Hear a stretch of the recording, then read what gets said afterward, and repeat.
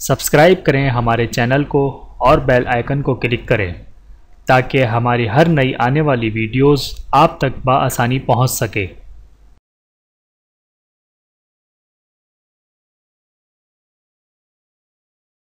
اعوذ باللہ من الشیطان الرجیم۔ بسم اللہ الرحمن الرحیم۔ تمام دیکھنے اور سننے والوں کو السلام علیکم ورحمۃ اللہ وبرکاتہ۔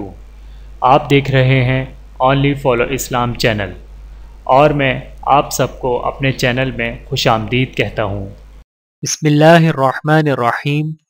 استقبال رمضان کے لیے تیس اہم ہدایات۔ قسط نمبر چار۔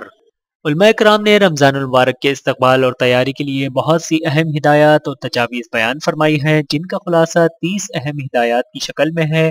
سمجھنے اور عمل کرنے میں آسانی کی غرض سے ان تیس میں سے یومیہ پانچ ہدایات قسطوار آپ کی خدمت میں پیش کی جا رہی ہیں۔ نمبر سولہ، نوکر، خادم اور ملازم پر کاموں کا بوجھ ہلکا کریں۔ رمضان المبارک کی آمد سے قبل نوکر و ملازمین سے محنت طلب اور مشکل کام کروا لیں تاکہ روزے کی حالت میں ملازمین پر کام کا بوجھ ہلکا رہے۔ رسول اللہ صلی اللہ علیہ وآلہ وسلم نے ارشاد فرمایا، جو شخص رمضان کے مہینے میں اپنے غلام، خادم، ملازم کے بوجھ کو ہلکا کر دے تو حق کے تعالی شانو۔ اس کی مغفرت فرماتے ہیں اور اسے آگ سے آزادی عطا فرماتے ہیں۔ بہاوالا مشکہ جلدوم حدیث نمبر چار سو انہتر، نمبر سترہ۔ عمرے کی ترتیب بنائیں۔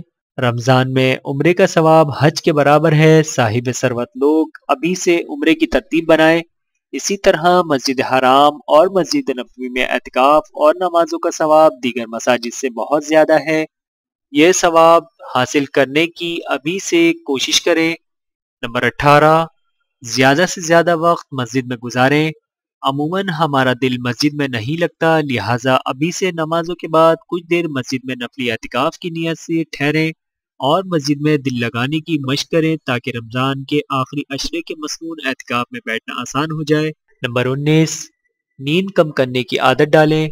اگر آپ آٹھ گھنٹے سونے کے عادی ہیں تو چھ گھنٹے سونے کی عادت ڈالیں تاکہ رمضان میں دقت کا سامنا نہ کرنا پڑے۔ البتہ تھکاوٹ سے بچنے کے لیے دن میں تھوڑی دیر قیلولہ کر لینا مصنون بھی ہے اور تحجد پڑھنے میں معیر مددگار بھی ہے۔ نمبر بیس، چالیس دن تک تکبیر اولا کے ساتھ نمازیں پڑھیں۔ اس کی بڑی فضیلت وارد ہوئی ہے۔ نیز ماہ شابان کے آخری اشرے اور رمضان المبارک کے تیس دنوں میں اس کا اہتمام نسبتاً زیادہ آسان ہے۔ لہٰذا تکبیر اولا کے ساتھ پنج وقت نماز باجماعت پڑھنے کی ابھی سے ترتیب بنائیں۔ ویڈیو دیکھنے کا بہت شکریہ۔ مزید ویڈیوز دیکھنے کے لیے ہمارے چینل کو سبسکرائب کریں۔ اگر ویڈیو پسند آئے تو لائک کریں۔ اچھی بات کو دوسروں تک پہنچانا صدقہ جاریہ ہے۔ جزاکم اللہ خیرن کثیر اپنا اور اپنے پیاروں کا بہت زیادہ خیال رکھیے گا اور مجھے دعاؤں میں یاد رکھیے گا۔ ٹیک کیئر اللہ حافظ۔